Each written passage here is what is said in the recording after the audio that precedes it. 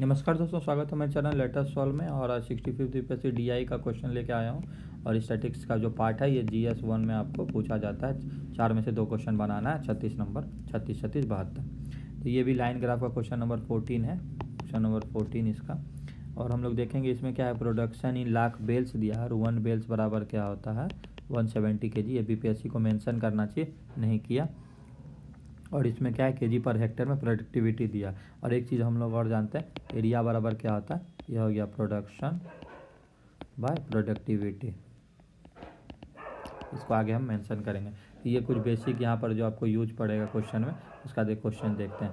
ठीक है? तो क्या दिया है? क्वेश्चन नंबर ए में देखते हैं हम लोग क्या करेंगे कि what was the percentage increase in cotton production and productivity ठीक है? परसेंटेज इंक्रीज पूछ रहा है दोनों में प्रोडक्शन और प्रोडक्टिविटी में।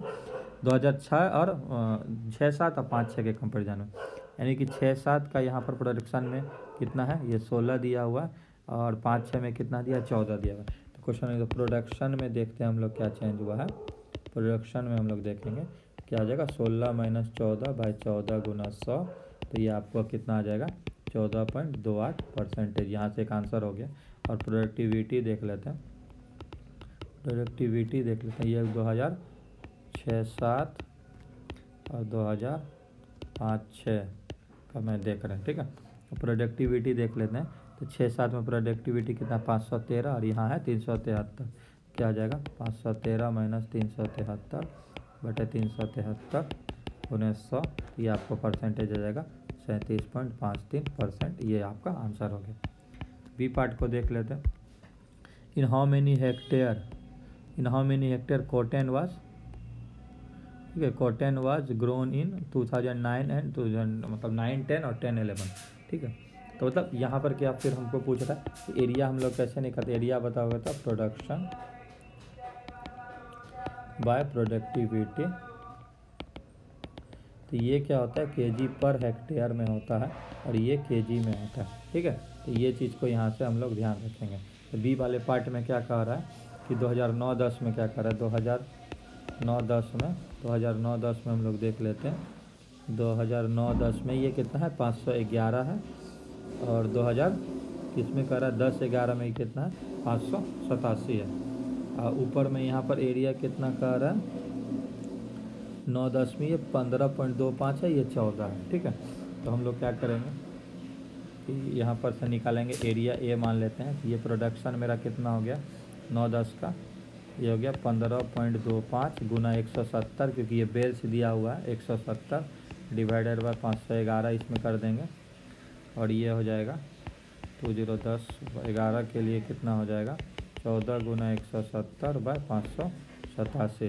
तो ये आपको हो जाएगा five point zero seven lakh lakh में दिया हुआ, लाख हेक्टेयर। और ये आपका हो जाएगा four point zero five lakh hectare. ये यहाँ पर ये हो जाएगा, ये ये आंसर हो जाएगा, ठीक है? यही रिक्वायर्ड एरिया यहाँ पर रिक्वायर्ड था। क्वेश्चन नंबर सी में हम लोग देखेंगे कि हमको यहाँ पर टेबल हम जो थोड़ा सा बना के रखे हैं कि ग्राफ को हम लोग क्या किए, जो डाटा है उसको टेबुलेट कर दिए। क्योंकि क्वेश्चन नंबर सी में यहाँ क्या है कि क्या हर जगह maximum percentage decrease compare to last year पूछ रहा है, ठीक है? तो और अगले क्वेश्चन में भी देखते हैं मैक्सिमम परसेंटेज इंक्रीज पूछ दिया तो फिर यहाँ मैक्सिमम एरिया पूछ दिया तो एक हमको ग्राफ बनाना होगा, ये तीन चीज़ का। तो ये परसेंट प्रोडक्शन का प्रोडक्शन चेंज है प्रोडक्टिविटी का परसेंटेज चेंज है और यहाँ पर मेरा एरिया है, ठीक है? तो अब इस क्वेश्चन को हम लोग कैसे बनाएँगे?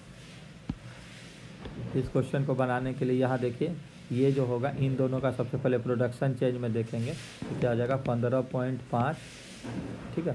तो चौदह माइनस पंद्रह पॉइंट पाँच डिवाइडेड बाई पंद्रह पॉइंट पाँच गुना सौ करेंगे तो ये वैल्यू आ जाता है हमको minus nine point six eight. तो यहाँ पर से हम लोग लिखेंगे minus nine point six eight. Similarly क्या फिर इन दोनों का निकालेंगे तो ये कितना आ जाएगा? ये आ जाएगा चौदह पॉइंट दोनों आप लोग निकाल लेंगे। इसका minus six point two five, minus six point six seven, इसका आ जाएगा eight eight point nine three और इसका minus eight point two zero. पर प्रोडक्टिविटी चेंज में फिर देखेंगे इन दोनों का कितना होगा। इन दोनों को यहाँ पर हम निकाल के दिखाते हैं।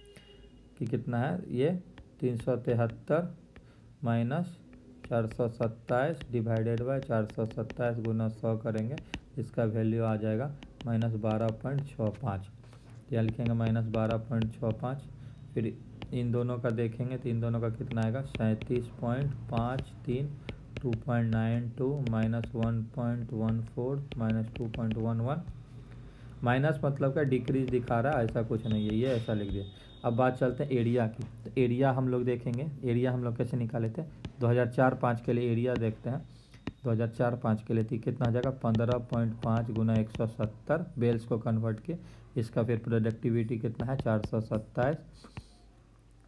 तो इसको हम लोग निकालेंगे। तो ये कितना आ जाएगा? Six point one seven. ठीक है?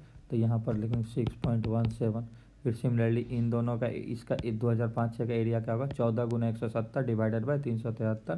तो ये आपको आ जाएगा सिक्स पॉइंट थ्री एट ये आ जाएगा फाइव पॉइंट थ्री ज़ीरो ये आ जाएगा फोर पॉइंट एट थ्री ये आ जाएगा फोर पॉइंट फाइव सिक्स ये आ जाएगा five point zero seven three ये आ जाएगा four point zero double five ठीक है?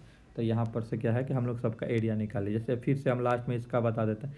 इसका कितना आ जाएगा? Fourteen into one seventy divided by five eighty seven तो ये रिज़ल्ट मेरा आपका यहाँ आ जाएगा। इसको कैलकुलेट करके देख लो। Fourteen into one seventy divided by five eighty seven तो ये आ जाएगा four point zero five five ठीक है? तो यहाँ से हम लोग एरिया निकल के अब हम लोग देखते हैं सी पार्ट में कि सी पार्ट में मेरा क्या है? क्या क्वेश्चन पूछा है?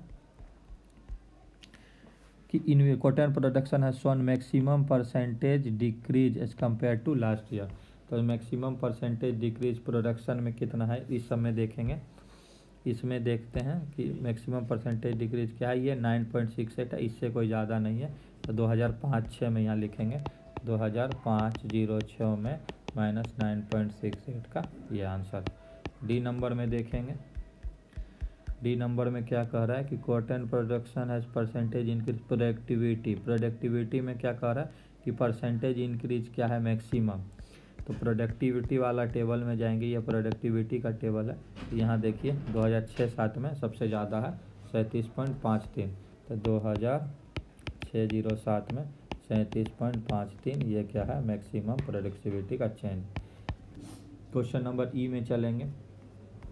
ई में क्या कह रहा है ना कि which year the cultivation was lowest ठीक है? And how much percentage of the maximum area तो सबसे पहले हम लोग मिनिमम एरिया देख लेते हैं। तो मिनिमम एरिया मेरा इस ख्याल से देखिए सबसे ज़्यादा मिनिमम किसमें आ जा रहा है? तो four point zero five five जो है ये मेरा मिनिमम हो जा रहा है। और मेरा हाईएस्ट कितना हो जा रहा है? ये हो जा रहा है। तो मिनिमम में पहले लिखेंगे। मिनिमम में लिखेंगे दो हज़ार दस ग्यारह में कितना है? Four point zero five five इसका परसेंटेज पूछा है परसेंटेज विथ मैक्सिमम एरिया तो पूछा है तो four point zero double five divided by six point three eight one into hundred तो ये मेरा आ जाएगा sixty three point five four percentage ये मेरा आंसर हो गया। एफ़ नंबर में चलते हैं। एफ़ में क्या कह रहा है कि assuming the cotton price was one two five zero per quintal ठीक है? तो what would have been the income of farmer हुआ पाँच हेक्टेयर का ज़मीन है? 2008 नौ का बात कर रहे हैं, ठीक है? आठ नौ का बात कर रहे हैं, यानी आठ नौ में यहाँ कितना है? पाँच सौ बाईस दिया हुआ ठीक है? आठ नौ में पाँच सौ बाईस दिया हुआ है। प्रोडक्टिविटी उसका दिया हुआ है। हम लोग जैसे क्या है रेट क्या बोल रहा है यहाँ पर?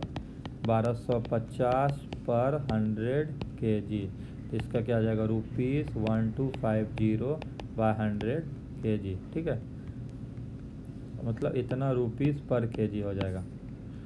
इतना रुपीज़ पर के जी हो जाएगा। ठीक है? अब इनका इनकम निकालते हैं हम लोग। इनकम तो इसमें कितना है? पाँच हेक्टेयर का ज़मीन है। प्रोडक्टिविटी पाँच सौ बाईस है। रेट कितना है? बारह सौ पचास बटा सौ। इस सारा को मल्टीप्लाई कर देंगे। उसका कितना? बत्तीस हज़ार छः सौ पच्चीस रुपया जो है इसका आंसर हो जाएगा, इसका इनकम हो जाएगा। क्या?